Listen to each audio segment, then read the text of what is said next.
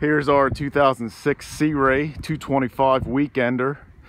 This was a local trade boat, only used here at Lake Raystown. One owner, has 158 hours on it. Comes with the galvanized Shorelander trailer. Trailer is also a 2006. Brakes on both axles. All the brakes work. Tires are in great shape. Plenty tread left on them.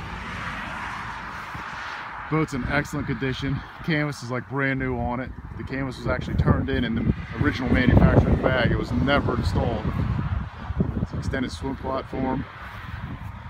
Bravo 3 outdrive. This has the uh, 5.0 MPI. MerCruiser, 260 horsepower.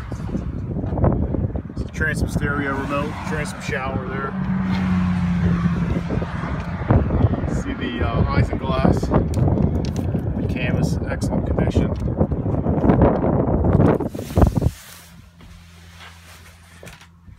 Cockpit's in great shape, interior vinyl, excellent. Well, storage compartment in the floor here. Has the MerCruiser uh, Mercury Smartcraft gauges, trim tabs, stereo remote. This is the VHF radio, automatic fire extinguisher system.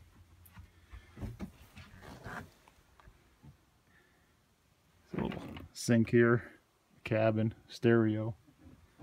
Also has the uh, porta potty there. No leaks.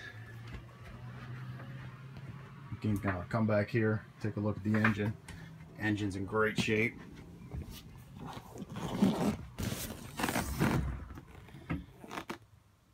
Very clean freshwater boat, only 158 hours on it. Very well taken care of and call us at 814-658-BOAT for more information.